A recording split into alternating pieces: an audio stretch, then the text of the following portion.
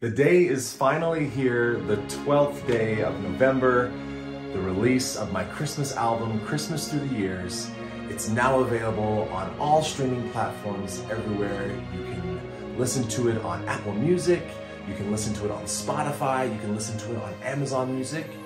You can also purchase it uh, through Amazon as well as through iTunes Music. You can also purchase it on my website at davidpaulsmith.com. Um, if you have missed any of the episodes of this journey through the, the stories that have made these songs come to life, you can check out my YouTube channel at David Smith Music uh, with the handle at David-Paul-Smith. Um, give it a listen today. Uh, we, just great way to start off the Christmas season. Um, if you are listening to it, give me a tag. I'd love to know that you're you're there and you're listening. Um, uh, tag me on, on social media through Facebook or for, through Instagram. Let me know your thoughts. Uh, we'd love love to hear from you. Go ahead and add these songs to your favorite Christmas playlists. I hope to be hearing lots of you saying, "Hey Alexa" or "Hey Google, play the album Christmas Through the Years by David Paul Smith over this next season.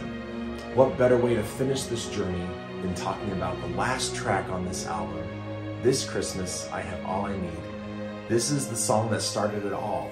Um, I wrote the song for uh, my soon to be wife, Brittany, while we were dating um, one of our special Christmases together. And I remember playing it for her on my Grandma Smith's player piano, Colleen Collins Smith, on her piano at her house.